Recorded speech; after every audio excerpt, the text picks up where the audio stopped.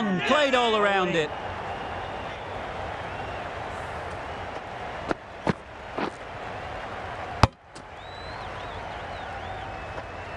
An innings that promised much and really